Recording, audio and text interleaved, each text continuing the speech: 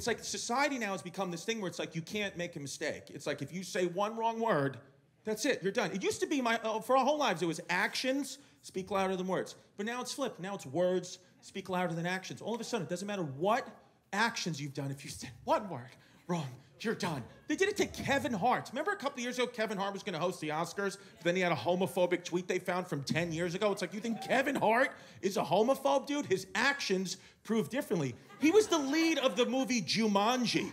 Do you know how gay you have to be?